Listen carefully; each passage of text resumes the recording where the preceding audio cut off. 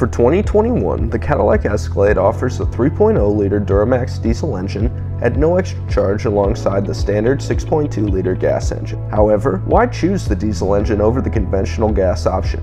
What are the perks and benefits of doing so?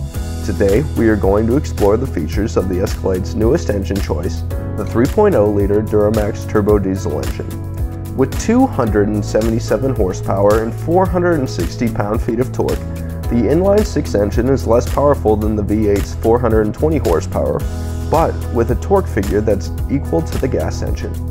Diesel engines are known for two things, fuel economy and towing capacity, and this engine is no slouch in either department.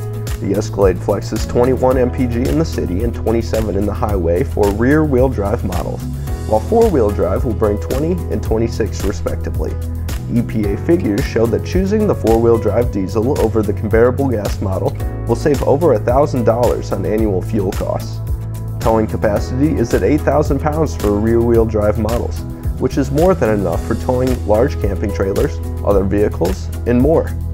In the cabin, one will notice a 560 mile range on the instrument panel, as well as a smooth engine idle quiet and refined as opposed to the typical diesel truck sound that most consumers think of. The diesel drives in a way like the gas version, with a comfortable smooth ride with a 10-speed automatic, optional air suspension and magnetic dampers, creating an exceptional luxury SUV that can tow a trailer, boat, and more.